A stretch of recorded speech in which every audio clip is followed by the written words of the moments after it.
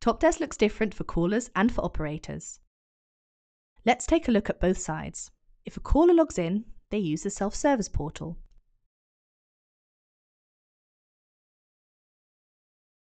Once logged in, the service catalogue is visible. Here, a caller can browse the services that are available to the company staff.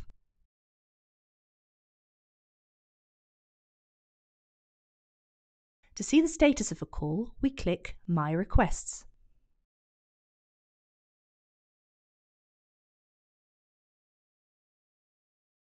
Below, we can find the operator who is working on the issue.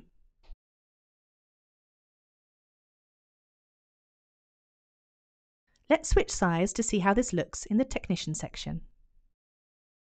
Back on the login page, we log into the Technician section.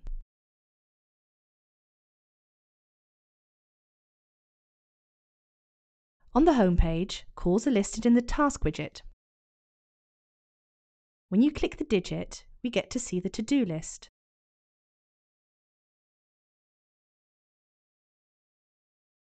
This is what a call looks like for technicians. The first block gives them all necessary information about the caller. In the processing block, the operator can reassign the call to a colleague if necessary.